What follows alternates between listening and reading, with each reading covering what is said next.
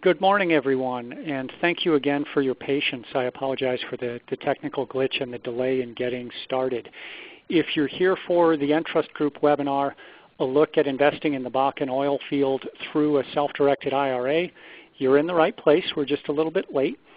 Uh, my name is Gary Kowalski. I'm the Director of Sales for the Entrust Group, and we have with us today special guest Troy Eckert, CEO of Eckert Global. We're going to go ahead and just get right into uh, the presentation here. We're going to start with the agenda. Um, in a moment, I'll go through a little bit about who the Entrust Group is and introduce Troy and, and give a little bit of a bio on he and his firm. Um, then I will spend probably the next uh, 12 to 15 minutes speaking about self-directed IRAs, the basics of them, what they are, uh, some of your options available to you, and some of the advantages as well as the things you can and cannot invest in. Uh, thereafter, I'll hand the baton to Troy, who will walk through uh, the state of the U.S. oil and gas market as we know it today. And then he's going to take a deeper dive and a look into the Bakken itself, which is a, a fascinating area. Um, forgive the pun, but he's going to drill down into the Bakken by the numbers. He'll walk through the methods of drilling being used, um, he's got some data points on production and who the top producers are, what they're doing, uh, the different types of investments uh, that people are making and that are available. Uh, and he'll walk through kind of some of the advantages um, for investing through a self-directed IRA and some uh, of those that are more advantageous outside an IRA. Uh, he'll then go through some of the elements of due diligence necessary and then walk through um, the basics of tax considerations for these types of investments. Uh, Troy will probably speak for about 30, 35 minutes, and then we'll open it up to Q&A. You should have a chat box uh, on your screen. I believe it's in the lower left-hand corner. And uh, if you have a question during the presentation, just go ahead and key it in. Most of those will probably wait until the end of the presentation to discuss. Um, but feel free to type it in as you wish. And um, again, thanks so much for your patience this morning. So with that, let's go ahead and get started. So again, I uh, work for the Entrust Group as its Director of Sales. And who is Entrust? Entrust is one of the leading administrators of self-directed retirement plans in the country. Um, we've been doing this for more than 30 years. We're um, one of the leaders, and we have roughly $4 billion in client assets under administration. There are two, two key points I would say that are um, important to know about Entrust as you're looking at different retirement plan administrators. One is we really pride ourselves on education. Uh, we conduct a lot of events like this webinar to try to present new and different ideas for your consideration. We also do a lot of in-person events in our local offices, and we have a national continuing education program uh, for people with different professional certifications uh, where you can earn points uh, to maintain that certification. Uh, the second is our local office and designated representative model. The industry norm um, for a self-directed retirement plan is to call the company with an 800 number, walk through your scenario, you usually will have multiple phone calls with them, but each person, uh, sorry, each time you call, you'll get a different person on the phone, and you're oftentimes speaking uh, really from scratch with your scenario. With Entrust, you have a designated representative from day one. They work with you uh, from the um, account establishment stage all the way through the transaction and the account maintenance stage. So they know you, they understand what your goals and objectives are and how you're uh, going about them, and they're there to work with you and try to support you start to finish. And as I mentioned earlier, Troy uh, Eckert is our special guest this morning. Um, he is the CEO of Eckert Global, which is a privately held energy asset management company specialized in energy asset management, oil and gas investing, and alternative investment opportunities. Troy has 28 years of energy industry experience. He's a former licensed investment broker and principal and CEO of his own investment firm for about 17 years. He's had a career specialized in developing and managing private equity investments, and he's been involved either as a managing partner, aligned investor, or as an issuer of investment securities that have involved the drilling and exploration, completion, and distribution of revenues for wells that have resulted in drilling depths that exceeded uh, 3 million uh, square feet and uh, covered more than 3,000 square miles of mineral acres of leases in seven states. And that's a bit of a mouthful, so I hope that came out okay. Um, Troy is the chairman of the board of Triangle Energy Services Corp. He is a principal partner in Connecticut Partners. He's the CEO of both Eckert Global and Eckert Recovery Services, and he's the president of American Energy Partners, Inc. And Troy will be taking over the presentation in um, a few slides from now. Uh, before we begin the formal educational piece, um, I would like to convey that uh, the Entrust Group and this presentation is uh, meant to be for educational purposes only. We don't endorse um, or provide any investment advice, and we strongly uh, encourage that prior to making any investments, you work with and discuss those uh, with a professional advisor, CPA, uh, attorney, whomever uh, you seek your financial counsel from. I want to begin with the basics, as I mentioned in the agenda slide. What is a self-directed IRA? Uh, most people know uh, IRAs by going to a Fidelity, Schwab, Vanguard, those kinds of firms where you will invest uh, in a menu of publicly traded securities or stocks, bonds, and mutual funds, uh, CDs, that kind of thing. Self-directed is really an IRA that um, enables you to invest in a much wider array of assets, and they're, uh, they're really referred to as non-traditional assets, such as real estate or oil and gas ventures, uh, precious metals, privately held companies, and you can also um, lend out of your IRA. But the large banks and brokers won't allow you to do that because those are not products that they traditionally offer. So I'll walk through in a minute what you can invest in through your IRA, but in some respects it's easier to begin with what you cannot because the list is pretty slim. There's really three things that you cannot invest in through your IRA. First is collectibles. So if you have a passion for baseball and want to invest in a baseball card uh, collection through your IRA, uh, unfortunately that's considered a hobby and you cannot do that. Um, similarly, if you wanted to invest in wine or works of art, those are specifically prohibited. You'll notice on the slide in front of you that it says metals or gems, stamps, or coins, that those are prohibited. That's correct. Um, there are exceptions in the metals arena.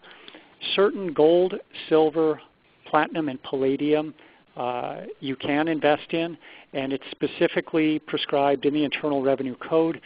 Um, the requirement really is that they meet certain purity specifications, but they're absolutely um, something you can invest in. Uh, if you have questions on that, just uh, give a call to the 800 number at the bottom of the, the slide, and uh, we can connect you with our Precious Metal Center to try to clarify that for you. Um, the second is life insurance, which is prohibited in an IRA, and then S Corp law also uh, prohibits IRAs from making investments in those. Apart from that, it's really um, the limits of your imagination. You can invest in uh, vegetable uh, uh, containers of vegetable oil coming from South America. We've had clients invest in ATM machines, all kinds of different things. So we're going to move along to some of the advantages of self-directed IRAs. I, I kind of like to bundle the first two bullets together. Um, really the second one first, invest in what you know and understand. I think the true benefit behind self-direction is that many, many people um, looking to save for retirement don't know or don't feel comfortable with the publicly traded securities markets. Um, and they want to handle their investments on their own rather than um, you know, go pay a, a financial advisor perhaps. They may know and understand real estate particularly well or um, uh, again, the metals arena, or they may have insights on a private company that they've been following for a long time. Those are the types of things that you can invest in through your IRA that most people just don't know about. Um, or they're investing in real estate separately, and now they realize, ah, I can do that with my IRA. uh, this is terrific. And of course, oil and gas concerns as well, um, which Troy will be speaking about. Um, one of the advantages to that is diversification. Um, there's nothing wrong by any stretch with the public securities markets. Uh, uh, they certainly provide potential opportunities there uh, for your IRA. Um, however, um, by opening it up and expanding your, your, your, options, it allows you to diversify and create a more balanced portfolio. Um, last are the, the tax savings or tax advantages. Um, within uh, your IRA, the contributions uh, may be tax deductible and the earnings will always grow either tax deferred or tax free depending upon the type of IRA you set up. And so we're going to take a look at those right now. Um, what are my options?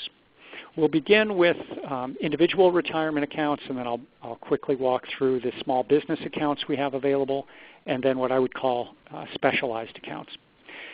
Uh, within the IRA uh, category, we have traditional and Roth.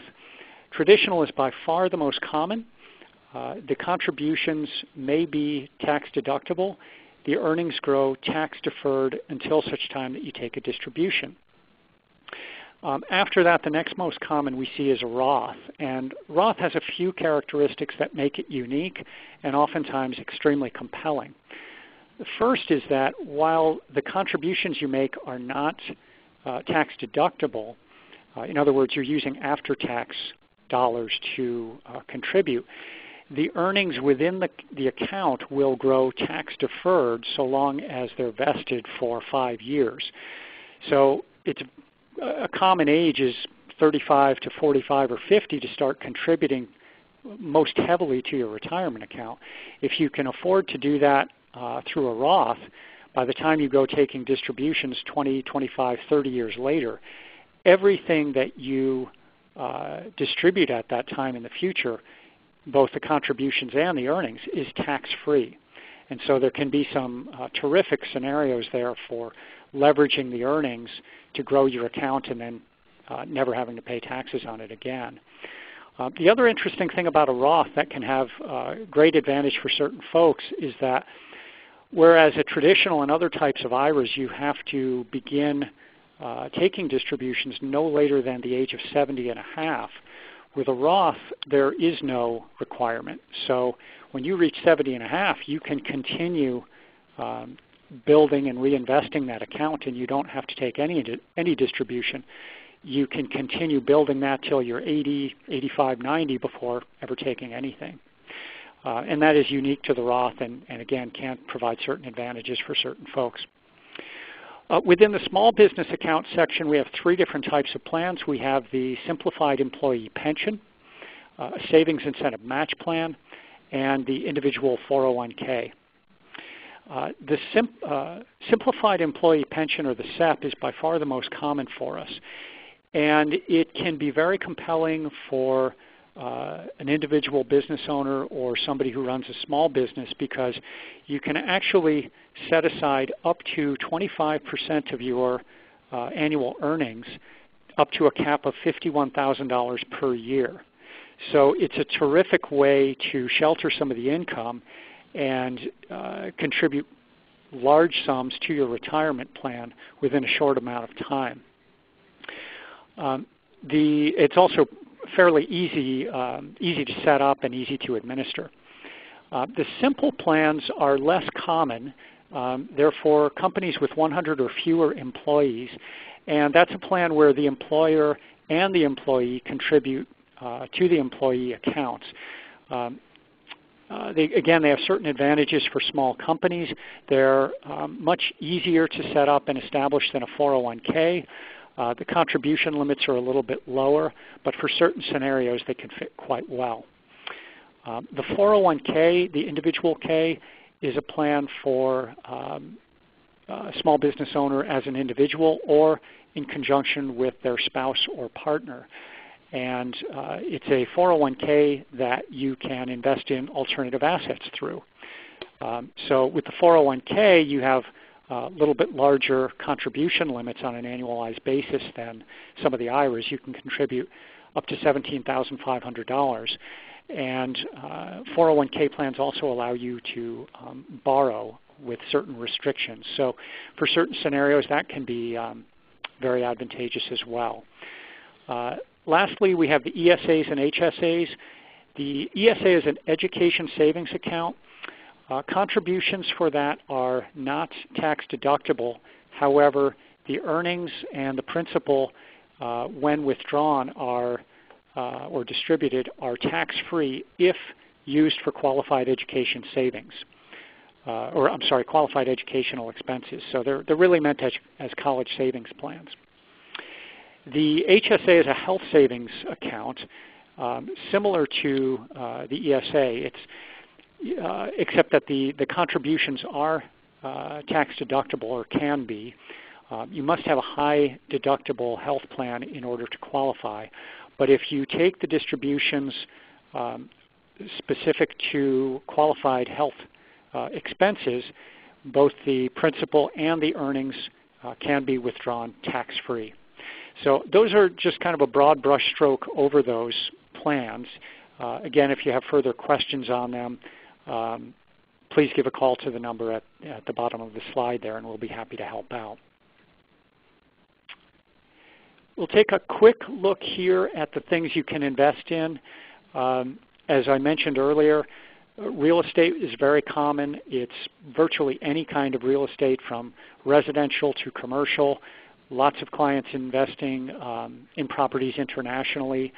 Uh, there's been a lot more interest in things such as farmland and agricultural opportunities of late. Precious metals, hedged or pooled funds arrangements, arrangements uh, secured or unsecured loans. Really almost anything is eligible except the life insurance, collectibles, and S-Corps. It's really up to your imagination.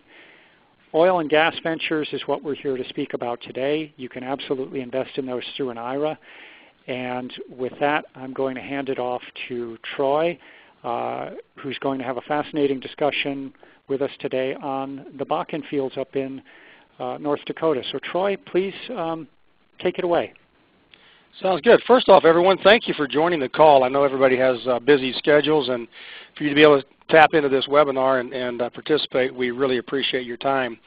Uh, a couple of things I should start off with is that uh, I just came in from Montana this weekend where we had our annual uh, partners conference where we have all of our partners in place. And basically just spent the last three days going over all the investment components of energy from pipelines to saltwater disposal wells to exploration, royalty funds. And so we've had a really uh, interesting last three days doing a little fly fishing and enjoying the beautiful Montana skyline. And um, so I'm uh, rested and, and uh, looking very excited and, and uh, well poised to uh, go through the Bakken and what's going on up there.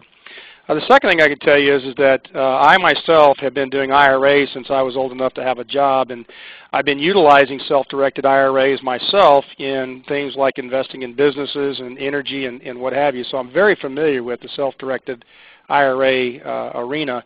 And I can tell each one of you on the phone it's an absolutely uh, incredible tool to be able to invest through your self-directed IRA into assets that you believe are going to have high growth or growth because it allows you to trap those earnings inside of a vehicle that defers the tax liability as well as be able to continue to increase the size of that portfolio. So uh, I'm a, a big uh, advocate of self-directed IRAs. I actually started a medical collection company using my IRA, and that company is doing extremely well.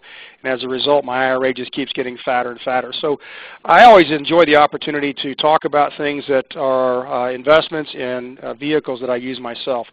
Uh, just give you a quick background. I started off in the oil and gas industry in 1985. Um, I just turned 49 years old, and all I've done my entire career is work on oil and gas in, in a number of different uh, elements or, or, space within the energy uh, industry.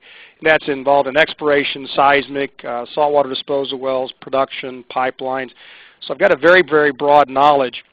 And what we want to do this morning is just kind of give you an idea of what's going on in the United States when it comes to the oil and gas industry. Let's take a look at this slide that's on your screen now, which is you know where the average annual U.S. oil price is. And What I'm here to tell you is that uh, the United States is probably in the best position it has been in in the last uh, 50 to 60 years when it comes to uh, energy. And the reason why we are in the best position is the fact that two things have occurred. One is that the United States um, has put itself in the position right now to be kind of the economic leader in the world. We've been that way for a number of years, but with the economic chaos in 2008 and 9, um, it still looks like the United States is still in the best position economically. Well, that's true, but yet we still feel like we're kind of in this recessionary uh, vacillation, and we're still running 94 to $110 a barrel. It bodes extremely well for the energy industry as to what the price of a barrel of oil or an MCF of gas will in fact be worth when the economy does recover. So my point is as follows. If you look at the chart from 2008 to 2012, other than a short drop in 2009, the marketplace clearly has demonstrated that the oil and gas that we produce domestically or on a global basis is worth a lot more money than it was 10 years ago. And if that's the case, we now have a new norm. The new norm is probably a range of $75 a barrel to maybe $125 a barrel for crude oil. And it doesn't matter whether it's produced internationally or produced domestically. So from a consumer standpoint, energy is going to be very expensive relative to a decade ago. From an investor standpoint, it's the place you want to be you want to be in a space where the demand is constant and increasing and where the supply is always diminishing. It's the bottom line of Economics 101. Currently, I think oil is trading at $106 a barrel today, and I anticipate we have a very strong trading range between that level, like I explained, 75 to $145 a barrel. Inside the oil and gas industry, though, we would really prefer it to be around $95 a barrel because we do not want to end up uh, choking off the economy, nor do we want to have increased uh, competition from alternative fuels such as wind or nuclear or hydro. So from, this, from the oil and gas industry, we like around $95 a barrel seems to be a good working price. The next slide just simply kind of tells you about, about why the oil and gas industry is in fact a good investment. For one, it's a great inflation hedge. Traditionally, whenever inflation kicks in, oil prices and commodity prices in the energy space have a tendency to rise at or faster than inflation. And the nicest thing you can do is be in, in a energy investment because it's a great deterrent to your portfolio, allowing you to make gains in the energy investments while the, the uh, alternative investments such as maybe the private equities or the equity market is taking a little bit of a retreat. Um, as you look at the, the different things that are going on inside the, uh, the world today, the Syria issues and all the geopolitical pressures, um, what we have is we have a very clear understanding that, that the world does not move without a barrel of oil being burnt whether it be the manufacturing facilities or the cars we drive or the clothes we wear, um, no matter how much windmills we put up in, in the air, oil and gas is the number one and will be for quite a long time the number one source of fuel. And there's really not anything else we can do about it. As what I've told many of my partners for the last decade is until they figure out how to pave highways and make clothes out of anything but petroleum, I think the petroleum industry is going to have a very solid foundation.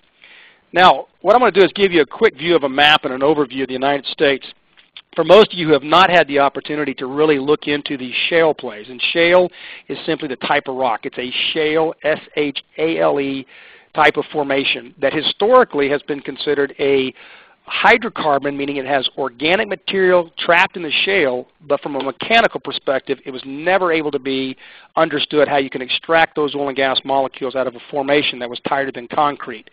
Well, about 17 years ago, uh, George Mitchell with Mitchell Energy finally perfected, after millions of dollars and nearly two decades of expertise, figured out how to release those molecules from these shale plays. And what you have now is a United States that is in an energy revolution. We're not talking about a just a small changeover in the energy space. We're talking about a complete 180 degree changeover in the way the energy industry is being run. We're talking billions and billions of dollars are being invested in technology and in lease acquisitions of mineral interests across the United States because these shales are everywhere. Right now I believe we have 25 states of the United States now contains commercial quantities of shale gas or oil. And it looks like from the exploration side that could increase to as many as 30 states in the United States. So instead of just Texas or Louisiana always predominantly having the oil and gas, or even some over in California, you're now talking about states that traditionally were oil and gas, a little bit of production. Now we're talking in massive quantities, such as North Dakota, Montana, Ohio, Pennsylvania, states that, that really have never been on the top 10 are now right in the limelight. Now, when you see the circles on the map, the reason those circles are there is because our company and our partners over the last two decades, we've been involved in shale and, and non-conventional resource plays, and we've been involved in five different plays or five different uh, formations, the Barnett, the Almas, the Austin Chalk, the Bossier, et cetera. And so when we come to you, we're coming to you from a very uh, lengthy expertise and a lengthy experience uh, portfolio of dealing in these shale plays long before the, the last three years of, hey, the shale is taking off. We've been drilling shale wells and non-conventional wells since the late 1980s. Now, let's talk about the Bakken in particular because um, when you have a, a almost a 30-year career in energy, you kind of have a, a, broad spectrum on understanding the different shale plays and why maybe the Bakken shale play, which is predominantly in North Dakota and Montana, why those two particular states and this particular oil field is maybe better than any other oil field in the country. And it really boils down to a couple of three things. First off, it is one of the highest liquids rich basins. What that means is either natural gas liquids and or crude oil seems to be 85 to 90 percent of the product that is being extracted by a newly drilled well inside of the uh, Montana North Dakota field. And that is very, very important considering right now you're looking at about a 7 to 10 times higher value for crude oil and natural gas liquids than you do for natural gas if I'm going to have to go drill a well, and any oil company that you may decide to look at either as a public equity or as a uh, individual private investment, it's important to know that the product you're going to extract is giving you the greatest value. A shift occurred 18 months ago where the energy industry realized that natural gas was way abundant. They had all the natural gas they could find. The problem is that success in these shale plays and that natural gas drove the natural gas price down so low that really it's tough to make economic sense. But the flip side occurred in oil and gas. We had our nice drop in, in April of 2009 where oil dropped down to $32 a barrel for a short period of time, but quickly rose back over to $90 a barrel over the next 12 months. What that tells you is that the global product of crude oil has clearly demonstrated on a macro level that oil is worth at least $90 a barrel up to 120. So from the Bakken, it has a lot of things going for it. First is it's high in liquids. Secondly is very, very high success ratio. Other than mechanical failure, you're dealing with about a 96 to 99% success rate every time a well is drilled. The wells are averaging about $9, $9 million per well. Uh, what you're talking about is wells with expected economic life of 25 to 40 years. So let's put it in real estate terms. You're going to build a $9 million building. You're going to put tenants in there. They're going to pay your rent for 25 to 40 years. Your tenants may pay a lot more in the beginning because you've got to get back your cost for building that building. In the oil and gas industry, specifically in the Bakken, these wells come on very large in the beginning. They produce a lot of oil and gas up front in the first 36 months. Then they level off, and then they just produce nice income based on a steady uh, production level for the next 25 to 40 years. The other thing that's occurring is, is that the number of barrels of oil that are economically extracted from a typical Bakken well has risen. Two years ago it was around 375,000 barrels of oil per well. Now we're talking wells can exceed over a million barrels per well, and that all has to do with technology. These oil companies that are drilling are the major oil companies in the United States, the Continentals, the Occidental Petroleum, the Marathons, the XTOs, and what they're doing is perfecting the mechanism by which they're extracting the oil and gas, and each time they drill, that perfection is actually allowing them to make wells come down in price as far as cost increase in total reserves extracted per well, and stretching or lengthening the amount of productive economic lives of the wells. Okay? Um, the Bakken by the numbers. Essentially, when you drill a Bakken well at today's prices, by the time you uh, drill the well, you pay the royalty owner his cut because he owns the minerals, you factor in the expenses of the well, you're generally looking at about a $33 million net profit per well. Very, very high substantial profit. The other thing that's nice about it is that you know we, we do have our energy taxes, which of course are stimulating the economy. We generate a lot in the way of revenue as far as the wages. I mean, at this point in time, if anybody doesn't have a job in the United States, just show up in North Dakota, Montana. You'll have a job and you'll be uh, fully employed because the state is completely void of intellectual assets such as personnel. Um, right now, the state of North Dakota is averaging over 800,000 barrels of oil per day. The prediction is by the end of 2014, we'll be pushing over a million barrels per day. Just to give you kind of a side note, uh, in the 1970s, we finally reached a peak in this country of about 7.4 million barrels per day. In 2008, for the first time in almost 30 years, we dropped below 5 million barrels a day in output. That's why you saw oil prices drive all the way up to $145 a barrel. We were on a complete decline, drilling five times as many wells for three times the price and finding smaller, weaker, lower producing wells as a result. So we were like a rat on a treadmill. Because of the changeover in drilling these shale wells where we weren't drilling dry holes, it was a matter of did you have a good well or a great well? What it has done, the oil, done for the oil companies has allowed us to be able to continue to drill without loss of capital and just figure out which basins actually make uh, the most profit per well. The Bakken by far is the number one leader in oil and gas being extracted per dollar invested. So from that standpoint, you know, the, the oil companies are just as excited as they've ever been. Uh, they recognize that they've got all the advantages going in their direction. Investors who have invested with them in stocks or through private investments are recognizing those same benefits. And it's, it's a whole new day in the energy industry that we have not had in 50 years. Um, the other thing that I want to point out is the slide just popped up is that because of the success of the exploration, just in the state of North Dakota alone, they estimate there's 35 to 50,000 additional wells that have to be drilled. This basin, they call it a, geological basin, is like a big bathtub just loaded with oil. And every time they drill a well, what they've determined is that there's not really that much depletion. There's not that much offset drainage. And so the oil companies are now preparing themselves for the fact that they'll be drilling in here for 10 to 20 years at 100% utilization or close to it. And they're talking about 35 to 50,000 wells just to successfully produce the oil that, that currently exists. Now, I want to also make note, that's only in two zones, the Bakken and the Three Forks. This thing is like a stacked or multi-layered cake where there's multiple formations from the surface down to about 15,000 feet that are productive. All the numbers I'm quoting and all the numbers that are being put out in the, in the media are really talking about two main zones, the Bakken and Three Forks. So I believe that the, project, the uh, predictions by Harold Hamm with Continental of having over 24 billion barrels of oil recoverable, I believe he's right and he may be actually understating the potential. Um, the U.S. Geological Society came out this summer with an updated report, and they said, look, you know, eight years ago we said this, this Bakken would only have 210 million barrels of oil recoverable. They came out three years later and said, well, we've upped that. We think there's 3.2 million billion barrels of oil recoverable. They came back this summer and said, we've updated the report. Now we believe there's 7.4 billion barrels of oil recoverable. The problem with the USGS is they're always looking back, not forward. They're taking proven data. And in reality, I believe that the numbers in the next three report will probably be double that 7 billion barrels. Now, the map I've just put up on the screen for you is a map of the state of North Dakota. And the entire state is not laden with Bakken. It's really predominantly in the northwestern part of the state. It covers about 9 to 10 counties.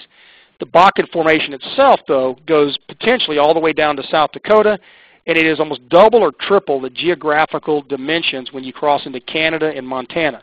This thing is enormous in size. It is loaded to the hilt with hydrocarbons. And regardless of where you're drilling, it's not a question of will you find Bakken when you drill down 9,500 feet. It's a question of whether you have a good, great, or fantastic well.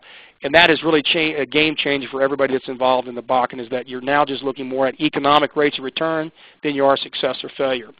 Uh, this gives you a kind of a, a, pulled out or more of a macro oversight where this, you see how large this thing, uh, this, this particular play gets our standpoint and most of the big companies that we participate with, we're focused on a very specific uh, playground, if you will, we call the heart of the Bakken. We're staying right in the middle part of the trend, and that seems to be where most of the success is occurring, and that's all the reports that you're seeing. But this, this trend is quadruple the size of what we originally expected. It just continues to get better. The next slide is just a, a, micro view, and it just shows you that we have narrowed down uh, what I would call the, the, deepest part of the basin and the highest concentration of hydrocarbons. And it's not hard to understand because when you look at the next slide, which is in fact a three-dimensional, uh, 3D seismic kind of comprehension, the Bakken is a blanket formation. It covers everything. Below it is going to be the Three Forks. It covers everything. Below that is the Nisku. And so from a, a uh, due diligence perspective, from understanding you know, where you can best drill, if you look at the small map to the right, it's kind of been defined by a core area, a premium core area, and areas that are in the process of being proven and developed. Well, when you start looking at the map to put it in, in kind of uh, a scale or a scope, the main part of what you see on the map on the right side of your screen covers about 15 million acres. It is huge. And when you take 15 million acres and realize underneath you lies these, these layered reservoirs that are loaded with oil and gas, it now becomes almost, it, to me, the Bakken is the largest real estate play in the country. It is about buying the minerals, leasing the minerals, drilling a well, and holding these minerals in perpetuity. So let's take a look at it from a schematic perspective. If you look at the schematic on the left-hand side, on the surface you'll have a drilling rig, and these wells will be drilled 9,500 foot down, deep enough to test or drill into the Bakken or the Three Forks Formation. The rock is extremely tight and very thick. So come, along comes the advent of horizontal drilling. Now horizontal drilling is simply a drilling technique, and the idea is, uh, is as follows. If you took a seven and a half inch paper plate, you might go to a picnic, that's about the size of a wellbore from the surface going all the way down. When you look at putting a seven and a half inch plate into a Bakken formation, it's like a periscope on a submarine. That's about all the exposure you have. The rock's tight, you can't get out very far, and you're kind of trapped. Well, what the horizontal technique does, it allows the drilling company to turn a 90 degree radius and take that 7.5 inch periscope and go out almost two miles. The purpose in that is, when you look at it from a multiplicity perspective, now instead of having a 7.5 inch hole drilled vertically, you might have a 500 foot area of drainage. You now take and stretch that well out, that well bore out two miles. It's like the equivalent of drilling 20 or 25 vertical wells at a time. That is why the shale plays have finally been discovered in a commercial quantity is they did two things. They got the horizontal drilling to get them out and expose them to the reservoir. They're doing it two-mile increments. And they came back in with technology on how to break open that tight rock and allow those gas molecules and oil molecules to free themselves. That's called a stimulation or a frac job. All I look at is kind of like jackhammering your driveway, your concrete driveway. If you went out with a garden hose today and wet down your driveway and you tried to go drink a little bit of water off of it, you'd get a raw tongue. But if you took a jackhammer and went in a line all the way down your driveway and you jackhammered and loosened up the rock, the water would pool or migrate to where those cracks or crevices are. That's called the initial flush production from a horizontal well. And then over time, the water would continue to migrate to the weakest point or the lowest point of density, which in fact would be that crack along your driveway. What the oil and gas companies are doing is the same thing. They drill a horizontal well. They come in with a jackhammer called a frac job. They create all these fractures. We get big flush production, 1,000, 2,000, 5,000 barrels of oil per day. It produces 60, 80, 100,000 barrels of oil in a year. And then all of a sudden, now that you've had that initial surge relax, you get this continual migration of oil and gas molecules that will come over the next 25 to 40 years. It's not difficult, but it took some really, really brilliant engineers to discover how to do it and successfully deploy it, and that's what the oil companies continue to do. Now, from a standpoint of, of looking at any kind of investment space, whether it's stock markets, bonds, real estate, the one thing I enjoy the most is looking at an industry who has solved the most complex problem, and you start to see decline curves or what I call incline curves like you see on this uh, screen currently.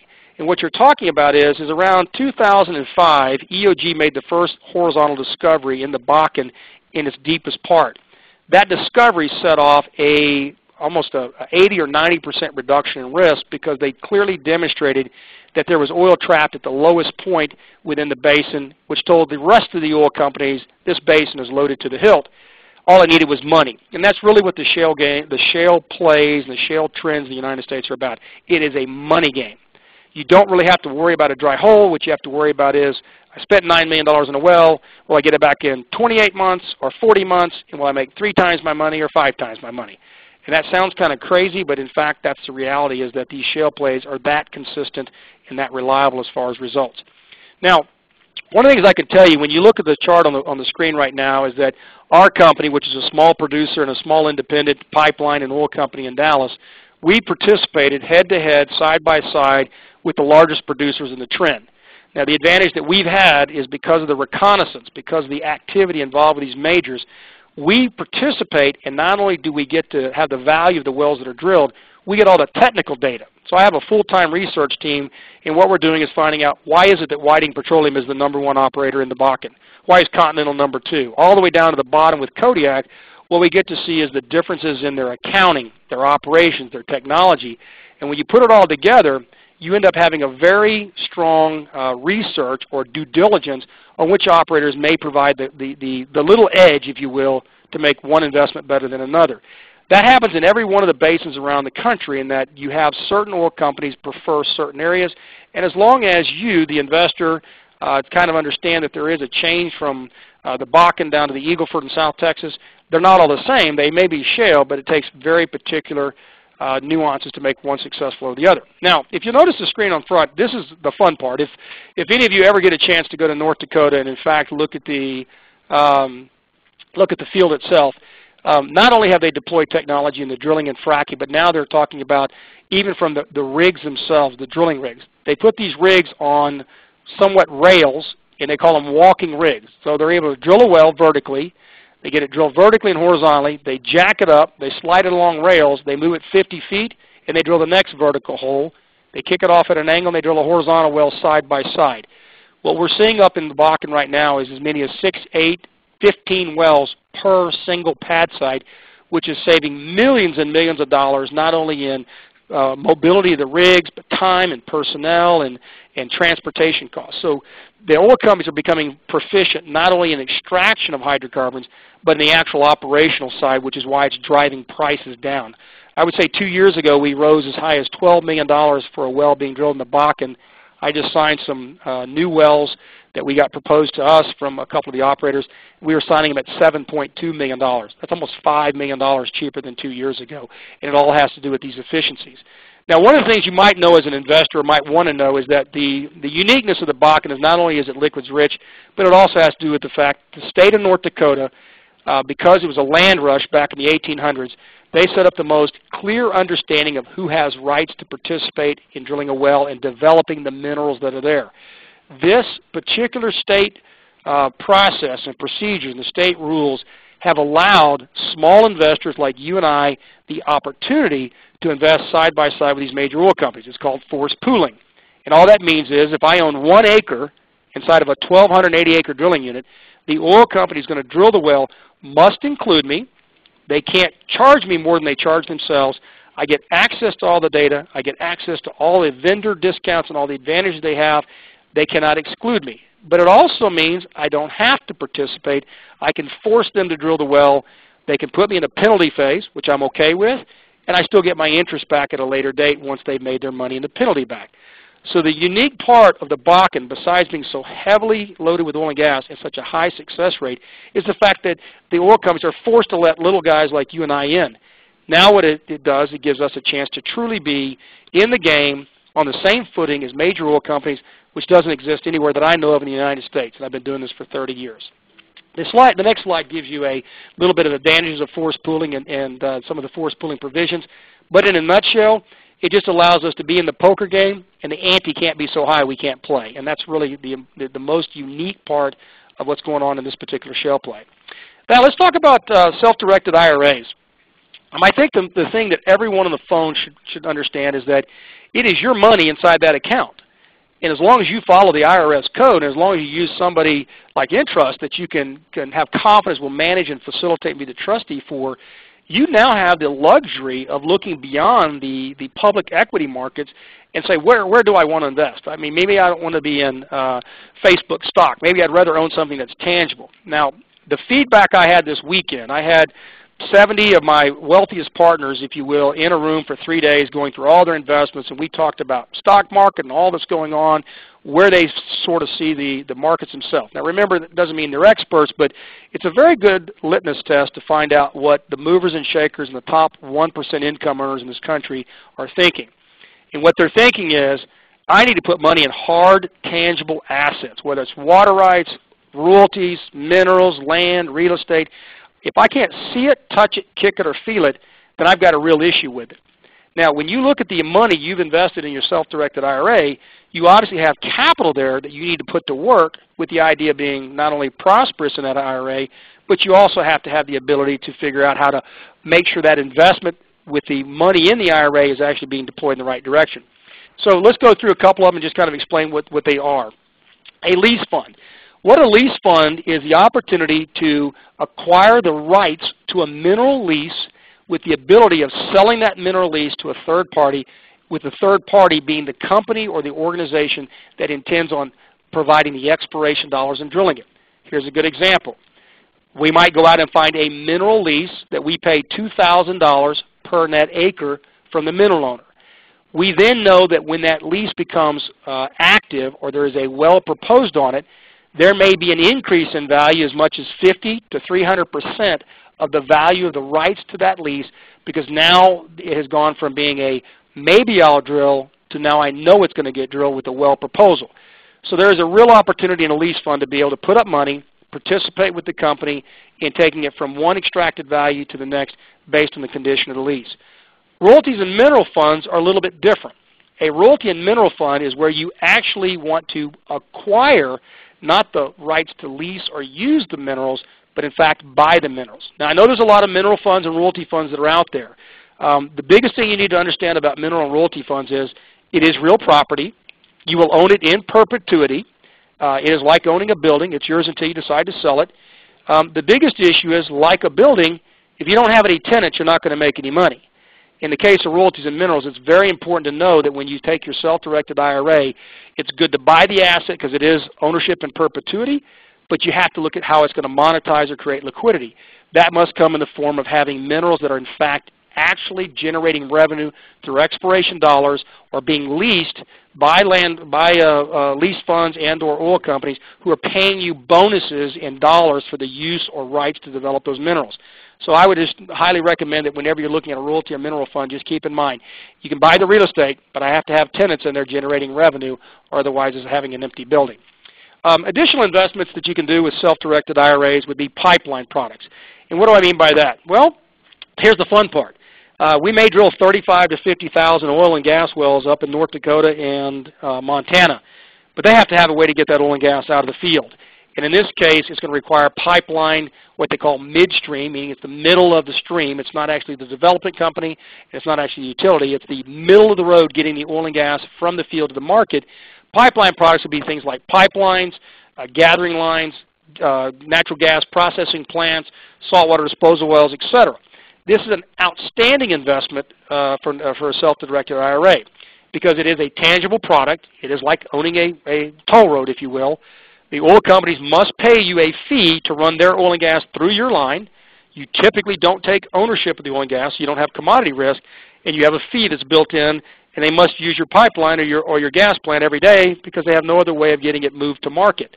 Now the pipeline products, the reason why I'm excited about it is, is that the pipeline products are like the development companies when you take a raw piece of land that you're going to get entitled and get it uh, annexed into the city.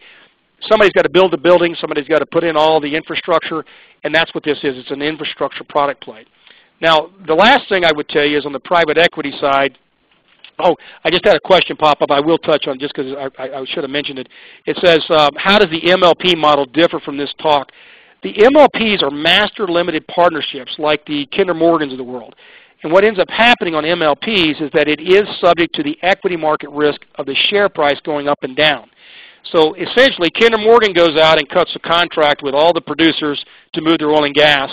Kinder Morgan then goes in and runs in all his overhead and his expenses and his partnership distribution rights. And then you as a shareholder get your pro rata share of those distributions of the net remaining capital that's left over. In the case of owning a product pipeline through your self-directed IRA, you don't have that extra added layer of Kinder Morgan, and you don't have a, a dilution from the standpoint of all the different um, underlying components of a Kinder Morgan type MLP. You actually are a equity partner in a, a particular pipeline, a particular gas plant, and those revenues are coming directly to you as a shareholder or as a, as a uh, true owner in that particular pipeline. So MLPs are great. My clients have made a ton of money in MLPs. I like them myself very much. But there is, I believe, a higher rate of return and a more valuable retention by looking at product pipeline or pipeline products directly, which brings in the private equity component of your self-directed IRAs. Private equity is just pretty simple. If I'm going to go put in a, right now, for example, my company, New Frontier Midstream, uh, signed a contract, and what we're doing is we're putting in a, a big crude oil line in North Dakota. Well, you have to have private equity because whether you get bank financing or not, the equity would be the portion the bank or the lending institution requires to be a co-investment along with the bank credit facility. So private equity gives you, a self-directed IRA participant, the ability to look at a investment opportunity, some kind of a maybe a gas plant or crude oil gathering line, you become the equity portion of that investment which is then complemented by a third-party lender or mezzanine lender or, or maybe a, a, midstream developer. So the private equity can actually be in pipeline products as well as uh, some of the other energy investments that are available. Um, the last thing is, of course, tr traditional oil and gas development drilling. Um, the only thing I would caution everyone is that a self-directed IRA is generally, other than through like a Roth, has generally already been post-tax dollars placed into your self-directed IRA. There are a lot, substantial tax write-offs that go with oil and gas exploration. So as an example, we go out and drill a well for $10 million. By the time we look at the cost of drilling it, the labor, the sweat, the, the uh, non-renewable uh, applications of frac sand and fluid, 70 to 90% of that well is going to be deductible because it's not something that's tangible. The pipe, the equipment, and the wellhead is tangible. So in your self-directed IRA, you can utilize self-directed IRA for exploration, but you're going to trap some of those tax advantages inside of it. A lot of partners will end up uh, participating outside of their self-directed IRA and doing exploration, and then maybe after the first or second year, they'll actually do an acquisition and move those producing assets that are already past expiration into their self-directed IRA, which now allows growth inside the self-directed IRA. But there are some outstanding tax advantages, but as a caution, those tax advantages would be trapped in the IRA and maybe not best for uh, somebody that's trying to get some tax advantages because you're not going to get them out of the IRA. Um, now let's talk about due diligence because everybody I know that ends up looking at an oil and gas venture, the first thing I notice is most private investors don't have a clue which way a drill bit turns or how to really do due diligence. There's some very common things you need to look at. One, you need to look at who the, um, who the CEO, the principals of the firm are. I think if you Google, for example, my name, Troy W. Eckert, um, there's probably 100 to 500 searches on Google regarding my name and my company. You need to look for the states they do business in. Are, do they have cease and desist orders? Have they had prior lawsuits? Do they have any current pending lawsuits? Because as I mentioned at my conference this weekend, it is the people. The people behind the investment is your number one thing you should look at. It can be the greatest opportunity in the world, but if you do it with a crook or somebody that has poor management skills, the results will reflect that, that people person uh, indicator. So I would say, you know, use your search engine optimization, use the, the different methodologies by going to the SEC or FINRA, find out if these individuals have in fact had a, a, prior record. And it will amaze you when you do a little bit of research that the person who has the nice suit and tie on, that sounds really good on the phone, who presents himself very well, when you do a little background, it turns out that many of them have got all kinds of issues that, that they're never disclosing. So in this day and age, what I would tell each one of you on the phone is make sure you do your homework on the principals behind the firm first. One of the reasons we hold our private conference every year is for exactly that reason. We put all of our investors in the same room, and we say generally one of two things. You're either going to beat me like a pinata after three days because I don't tell the truth, or you're going to find that this is a great opportunity to learn and to meet your fellow partners and know that your investment has been handled in the correct manner.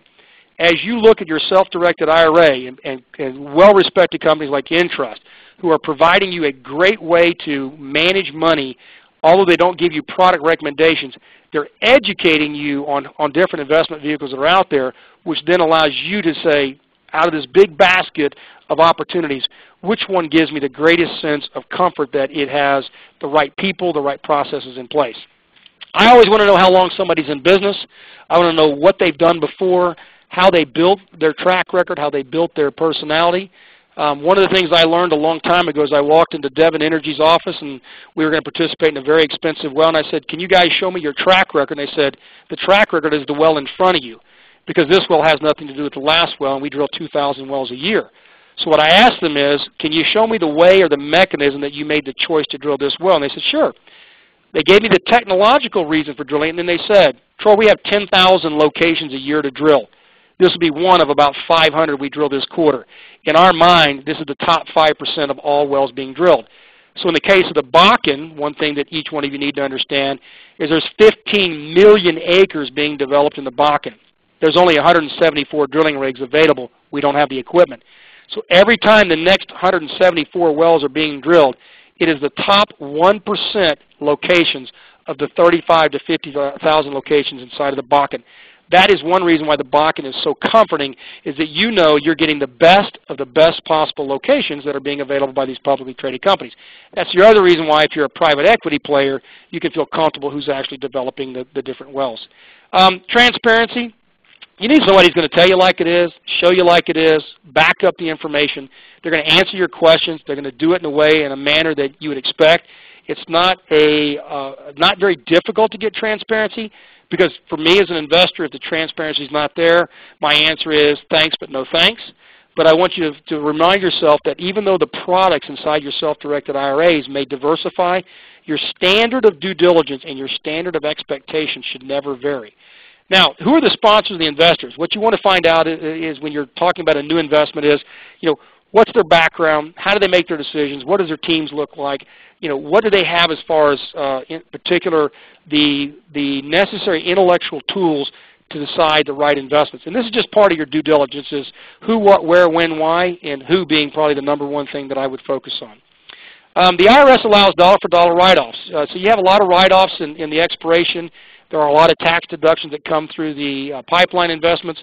Royalty funds, lease funds predominantly generate positive uh, income and they create growth as far as the value.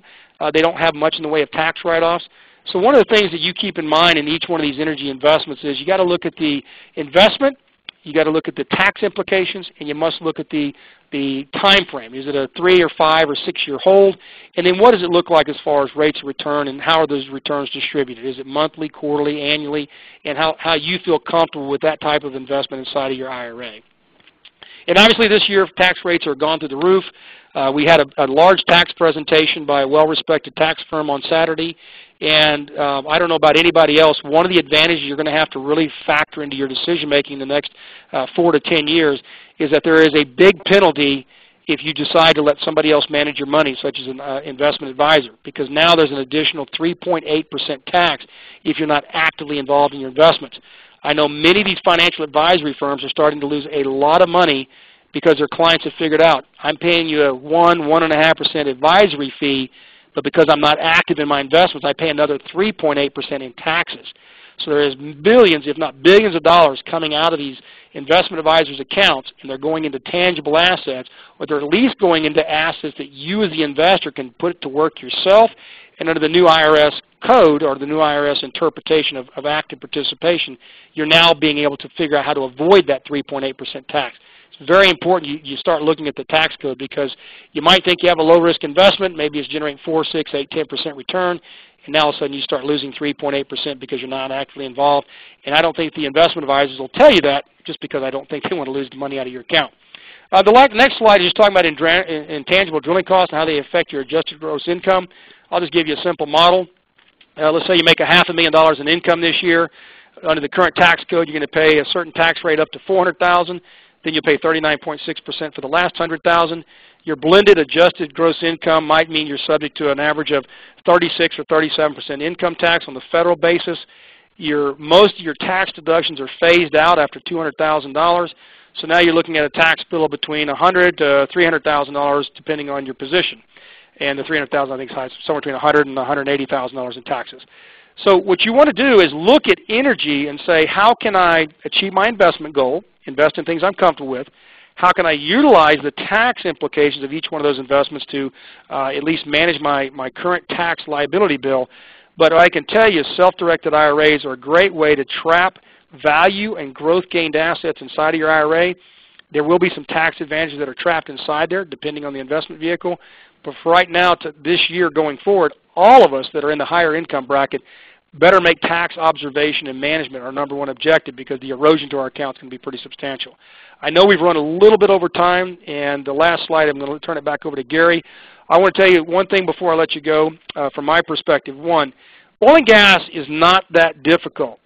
Oil and gas is the core foundation of a lot of my wealthier clients' portfolios. The biggest problem with oil and gas, when you look at it, whether it's in a self-directed IRA on the outside of your self-directed IRA, is you must use your common sense and you must find the right company to work with because we are in the biggest revolution in the entire history of oil and gas going on right now, and we are barely in the first inning. We have thousands of wells to drill, dozens of states to develop this energy in, and we need everything from saltwater wells to equipment to wells being drilled the pipelines and gas plants all the way down the line to uh, actually production facilities. So again, thank you for your time. I know I talk a little fast. Um, I do this for a living, so I always kind of know what I'm doing. I'm real excited about it. and I appreciate the respect and time you gave me on the phone. I see there's a few questions, but uh, what I'd like to do is go ahead and allow that uh, to turn it back over to Gary. And Gary, thanks again for allowing me to participate as a co-host with you on this. My pleasure, Troy. Thank you so much for joining us and for um, for the insights you provided. A, a, wonderful insight on the Bakken and everything going on up there, and I think some of its potential and uh, how it compares to the oil and gas opportunities of, of yesteryear, so to speak. So uh, really, really wonderful insight and very much appreciate you sharing it with us today. Um, we do have, have a few questions. I'm going to try to touch on a couple of the simple ones first, and then um, uh, we may need some elaboration on one of those that, that's listed here. Um, Chris, you asked about um, getting a copy of this presentation. Yeah, I, um, I, I, jotted your name down here, and I can email you a copy of the slides once we're wrapped up. And if there's anyone listening today who would like a copy uh, of the presentation materials, please just send me an email and uh, request that, and I'll be happy to, to share them with you. Um, somebody else had asked um, about uh, a link to this presentation if they want to listen to it again. And we will have it posted on the Entrust Group website. It should be up there by Thursday latest. Um, again, if anyone would like that link, just send me a note. It doesn't have to be in detail, just in the subject line. Please send webinar link, uh, Eckert Global or Bakken or something to indicate this specific webinar, and I'll be happy to send it once it's um, made available. Uh, there's a question there's a few different questions from the same individual, Rakesh, about um, tax returns within SD IRAs. And I'm trying to read how, how, complex. I guess I'll make a general comment and then, then Troy, he's asking as well, how complex is the tax situation with this investment? From a general standpoint with IRAs, um, your earnings grow tax deferred or tax free depending. Um, that's the vast majority of the time. There, there can be situations where taxes arise. It's typically um, with certain types of businesses that you run or if you're leveraging uh, inside your IRA. In other words, if you have your IRA borrowing funds, uh, the percentage of the investment that is allocated to the loan that your IRA takes can be subject to um, to income taxes over, you know, during certain circumstances. So I'd want to better understand your scenario um, and maybe chat one-on-one -on -one separately to try to respond to anything specific. But um, Troy, you may have some comments specifically with regard to oil and gas investing in terms of the taxes. I know yeah, you expanded on it, but you may have a little more you can add. Well, there's generally two ways you're going to invest in oil and gas, and the tax reporting comes in two different formats. Either you're involved in a a joint venture where you actually would receive a scheduled K-1, and that uh, K-1 would be provided, uh, generally speaking, if the if the issuer, the company that you're investing with, if they're doing their job correctly, you'll have a K-1 issued on or before March 15th, the year following the activity. And in that K-1 would provide the intangible write-off or the deductions. It provide the revenue it, it provide you your cost basis, and of course it would also break out the tangible part of your investment, such as the pipe and the equipment, and, and that would be uh, deplete, uh, depreciated over the next five to seven years.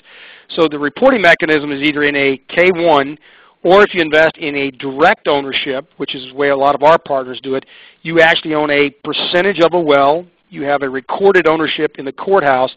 That's called a working interest. In that case, you get a 1099 at the end of January and you get a Schedule C provided by, at least in our company, we provide a Schedule C, and it breaks the same thing down as a K1 does, but the difference with a, uh, a direct participation versus a partnership or a joint venture is that you now have the flexibility of how you allocate those losses and those depreciable items because effectively a uh, Schedule C gives you that flexibility, whereas a K1 does it on behalf of all the partners inside of that particular partnership vehicle.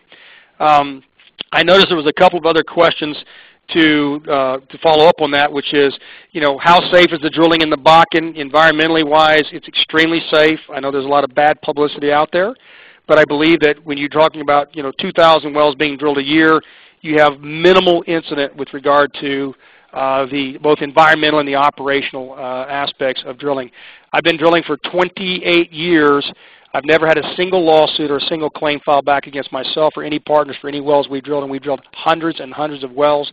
We also take the same insurance coverage in our company as the major oil companies provide. So when they're talking about a 500 million or a billion dollar insurance policy, we have the same insurance coverage as a partner with maybe a Occidental Petroleum, a Marathon, or, or a, uh, any one of the major companies.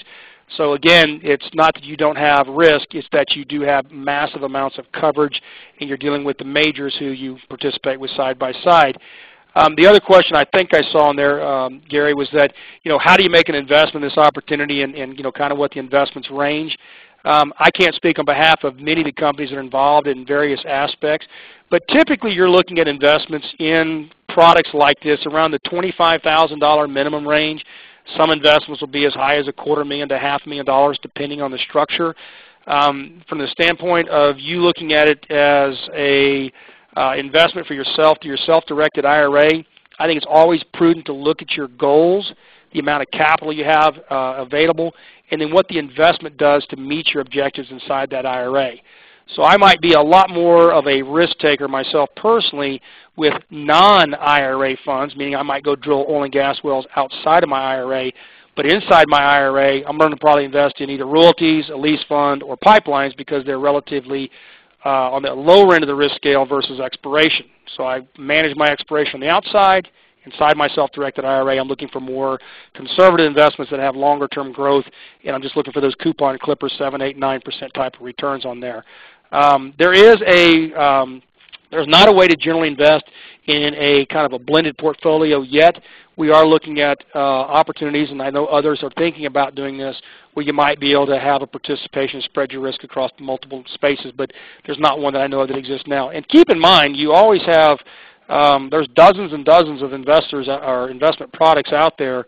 Um, the biggest thing I can tell you from my experience is you must do your due diligence because there is a tremendous amount of difference between one investment product in the Bakken versus another. Just because you hear the word Bakken doesn't mean it's a good investment. Because if the deal is structured incorrectly or to the disadvantage of you as the investor, it doesn't matter how good the well is. If you paid three times the cost of the well, most of your profit was eaten up in fees. So it is important that you look at the deal itself. Uh, Gary, again, I'll turn it back to you. Well, yeah, I, thanks, Troy, and, and uh, great responses there. I want to see if, if we can extract a little bit more uh, from you on the, the question of how would I make an investment in this opportunity. Um, you answered that, but I'm going to I'm going to just see if there's a little more you might add. Um, most of the people on this call, I'm suspecting, um, they're aware that you can make investments through uh, you know public securities that that would have an interest up in the Bakken. Um, but in looking at some of the private companies, I know that there are many, many players that are doing different things up there that, that people can look at. And when we met a few months ago, I, I don't remember all the details, but we spoke a little bit about some of the differences between the privately held companies and the things they're doing and the approaches they're taking. And I wanted to see if there's anything you could add on that because as I recall, there are some, some significant differences between uh, the different players out there when somebody who is um, you know is taking a look at a driller or um, you know somebody making a play up in the Bakken. Well, the, the one thing I can tell you that we've, we've been in the Bakken for three years. It is a purely empirical, quantitative play, meaning that there's a lot of data. There's it's the comparison of 20 different oil companies, comparing which company operates more efficiently, which company extracts more oil, which company is able to stay in budget. And there's a whole matrix of, of risk evaluations made on each operator. From an investor's perspective, if I'm, if I'm on this call with Entrust and I'm listening in with self-directed IRA money, my number one objective is how do I have a fair opportunity to make money and not be skinned alive from an ethical integrity perspective? That goes back to some of the due diligence items that I, that I mentioned in the slideshow. So if I can get if I can narrow the field from 20 possible companies that may be involved in royalties or minerals or exploration or lease funds in the Bakken and narrow it down to two or three that I believe are ethical and honest, then it boils down to the individual companies um, the differentiation, how they believe and why they believe their particular investment makes sense, and, and what kind of management expertise they bring to the table. So what you and I talked about when we met six months ago is that um, our company takes the position that we are fiduciaries and we manage energy investments on behalf of investors. And it's our objective to find assets, whether it be a pipeline or drilling or leases or royalties. And we go out and we work to find the best opportunity from an asset perspective, how to capture it at the best economic uh, uh, value proposition, and then bring it to our partners with the idea that um, it, we are managing those dollars on behalf of those partners. And so when we look at our, our, our structure, we try to do everything on a, on a cost basis. It costs X, we have to manage it for Y, but we fully disclose it. The biggest issue I see in energy investment is the failure to disclose. Um, I know that there are, are, for example, when we go out and drill an oil and gas well in the Bakken, when we take our combined lease cost and our combined drilling cost, we might be at um, 11,000 to $12,000 cost per acre for both drilling and for uh, the lease acquisition cost. We know that there are Hello?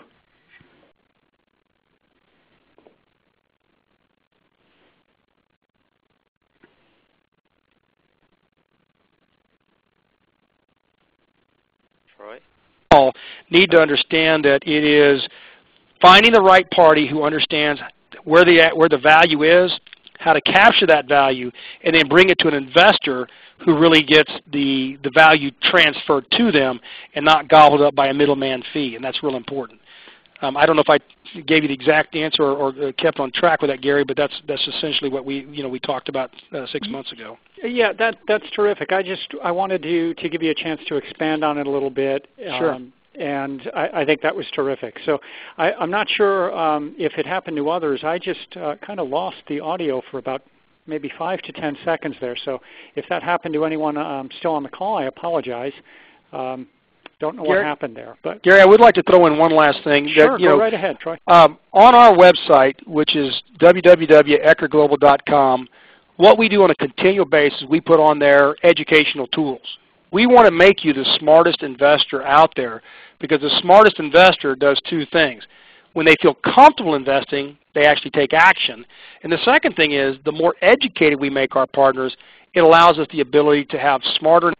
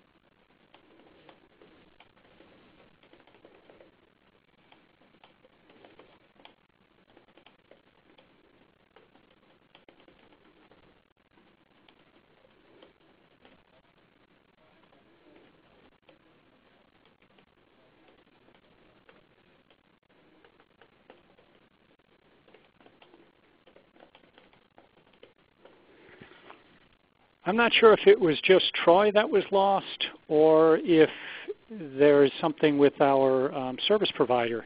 So if uh, the attendees can still hear me, this is Gary with Entrust.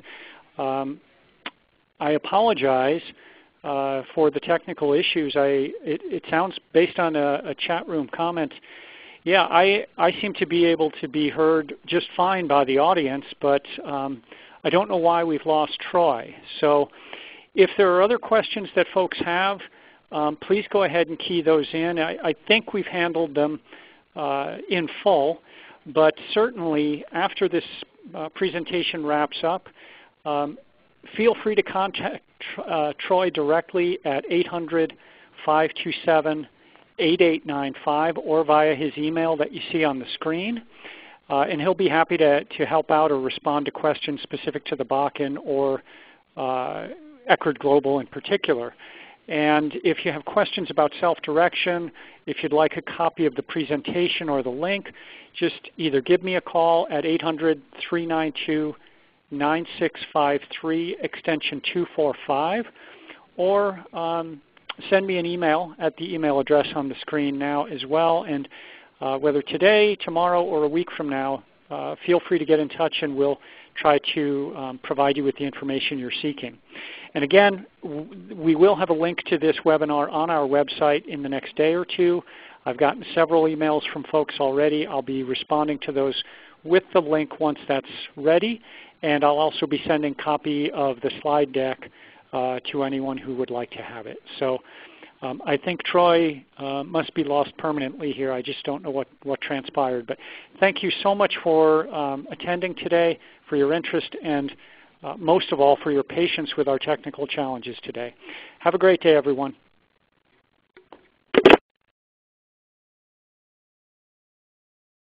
Thank you. Please stand by.